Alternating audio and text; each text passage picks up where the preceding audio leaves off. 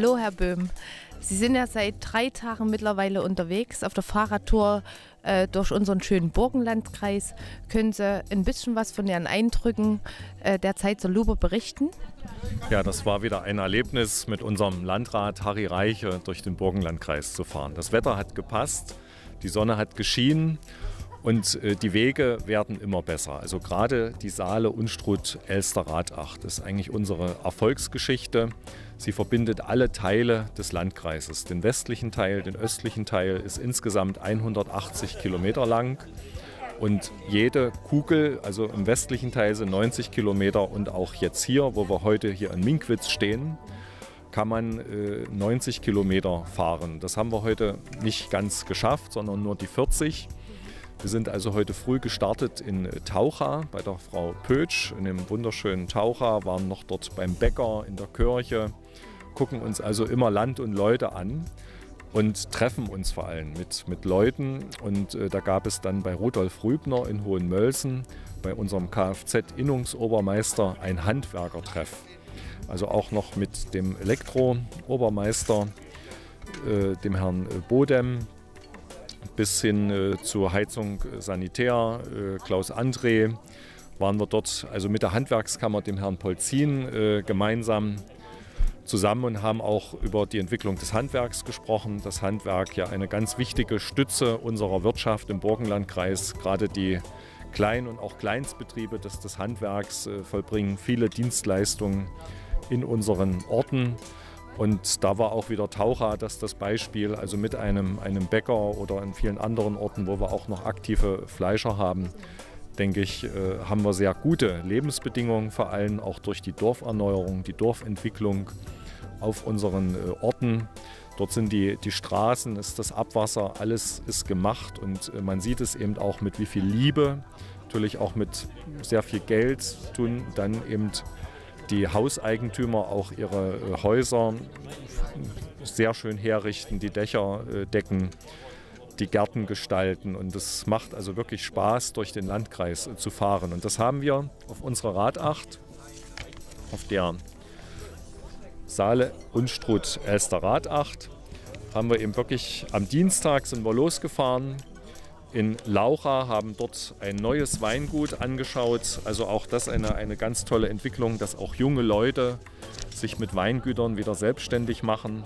Sind wir also hier in Laucha gestartet, sind dann hoch nach Hirschroda. Also unser Landrat hat jetzt ein E-Bike, ein E-Bike von der MIFA in Sangerhausen hergestellt mit starkem Akku, sodass er auch wirklich die Finne Berge nehmen konnte.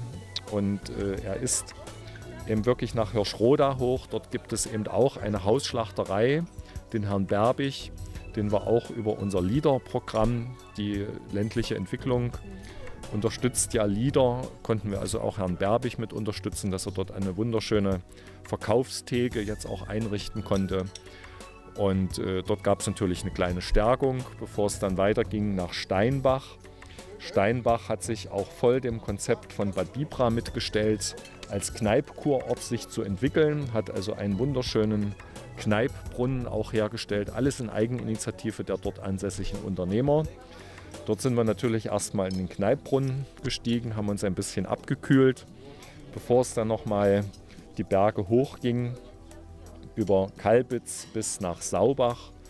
Und äh, wir haben ja vorhin auch schon schöne Bilder gesehen, dann von dem Finne-Unternehmertreffen bei Kälte Klima Einige in Saubach wo also auch ungefähr an die 20 Unternehmer äh, der Finne letztendlich mit vertreten waren, allen voran Werner Klose von der Firma Henglein mit 450 Beschäftigten in Kloster Hessler, ist es eben unser Prinzip, auch im Rahmen der Wirtschaftsförderung Kontakte zu machen, miteinander zu vernetzen. Also größere, kleinere Firmen, auch mal beim Bier, beim Wein, wirklich zwanglos, in zwangloser Runde, wie wir auch heute hier in Minkwitz hier sitzen mit dem Industriepark Unternehmen oder mit der Frau Triebe aus Wirchwitz, unserem Humus, dem Milbenkäse aus Wirchwitz.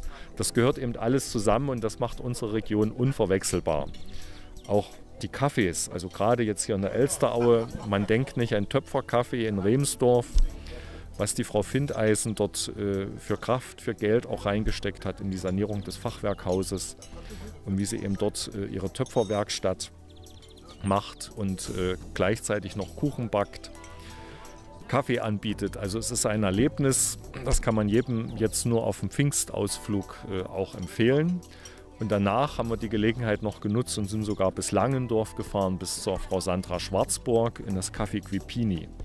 Mit ihren skandinavischen Accessoires ist das also auch nochmal ein Erlebnis. Kaffee und Kuchen und dann auch noch ganz viel zum, zum Finden, zum Suchen an kleinen Geschenkideen, die sie dort äh, aufbereitet hat nach skandinavischem Stil. Ist das also auch eine hervorragende Ausflugsidee für das kommende Wochenende. Und der Tourismus ist eben ein Wirtschaftsfaktor, ein, ein Wirtschaftsfaktor, der sich entwickelt hat, der gewachsen ist. Und in vielen Orten investiert man auch in Ferienwohnungen, in den, den Ausbau von Bauernhöfen, um sie eben äh, nutzbar zu machen. Wir haben selbst die letzte Nacht, der Landrat und ich, in Mertendorf in dem Reiterhof Kunse geschlafen. Okay, Herr Böhm, ich danke Ihnen vielmals für das Interview. Wir danken Harry Reicher, äh, dass er sich die Mühe gemacht hat, mit dem Fahrrad durch den Burgenlandkreis zu fahren mit Ihnen gemeinsam. Wir würden uns sehr freuen, Sie auch in den nächsten Jahren wieder hier in Zeit und Umgebung begrüßen zu dürfen. Insofern wünsche ich Ihnen einen schönen Abend und bis bald. Sehr gerne, immer wieder. Und dass das mit den Radfahren auch immer besser wird, äh, hat ja unser Landrat äh, heute in Remsdorf an den Bürgermeister Manfred Meissner auch drei Fördermittelbescheide äh, übergeben aus der Hochwasserfinanzierung, dass also zwei Brücken in Techwitz über die Schwennike zum Beispiel die eine Brücke, aber auch vom Tiergarten bis Zangenberg noch ein Stück Elsterradweg sozusagen wiederhergestellt wird nach dem Hochwasser, sind das also auch ganz äh, wichtige Fördermittel gewesen in der Summe von 650.000 Euro, die also jetzt in die weitere, den weiteren Ausbau der touristischen Infrastruktur gesteckt werden können. Ganz toll. Prima. Also wir wünschen Ihnen einen schönen Abend. Danke. Ja, tschüss. Gleichfalls. Wie weit ist denn der vierte Teil? Ja, wir haben schon einen Schluss gedreht. Ach so. Wir arbeiten uns vom Schluss zum, äh, nach vorn. Also ganz, sowas haben wir noch nie gemacht. Ach so.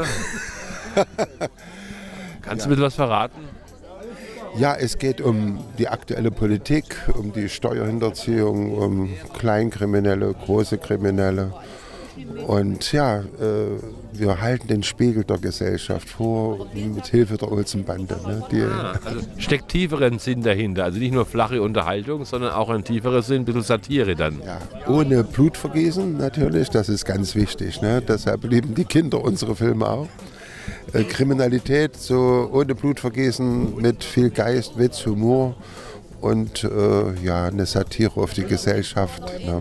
auf Uli Hoeneß und auf all die äh, kleinen Gangster und großen Gangster. Ne? Kriminelle finden wir doch viel in der Politik. ja, das, äh, das findet ja äh, immer statt und schon in der Olsenbandenzeit damals und äh, der Benny, der lebt ja noch ne, von der Olsenbande und der freut sich, dass wir die neuen Themen äh, bearbeiten. Ne. Jetzt wirklich. Habt ihr auch moralischen Anspruch oder gebt ihr auch eine Botschaft dann raus, auch für, für junge Heranwachsende? Ja, eine Botschaft auf alle Fälle. Äh, man sollte es doch ehrlich versuchen, also äh, sein Glück zu gestalten. Ne? Also die kleinen Sachen, die fliegen alle auf. Irgendwie, es kommt immer einer und es kommt doch noch raus, wenn man so kriminell wird und so weiter. Bei den Kleinen und bei den Großen. Das fetzt. Ich glaube, wir könnten unendlich viele Olsenbandenfilme drehen, weil äh, ja, es kommen immer neue Sachen dazu und äh, das ist das Interessante. Ne? Haben Sie schon die Kreissparkasse gefragt, den Herrn Kino, ob er mit, mitspielt? Ja, er bekommt eine große Rolle. Er, wird, er spielt den äh, Schweizer Banker, der in internationale Geldgeschäfte verwickelt ist. Ne? Und äh, wir haben auch Jackie Schwarz gewinnen können von Polizeiruf 1, 101 ne? als äh, Kommissar. Also wir haben allein und dann haben wir immer eine besondere Person, so wie Harry Reich auch, der einen Oberlandesrichter spielt, ne, im Oberlandesgericht. Und das macht die Sache so spannend. Ja. Danke dir vielmals.